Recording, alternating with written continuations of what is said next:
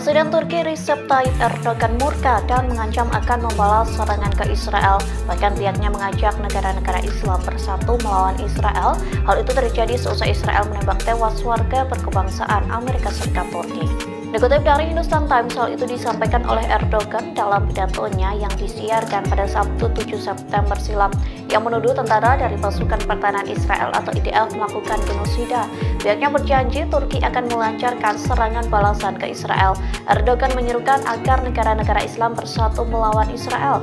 Adapun sebelumnya, Israel menembak aktivis Turki Amerika Serikat yakni Aysenur Eski Egi pada Jumat 6 September lalu. Penembakan itu bermula saat Egi berpartisipasi dalam demo penentangan pemukiman ilegal Israel di kota Baita. Sniper IDF pun menembak mati Egi dan satu perempuan asal Palestina.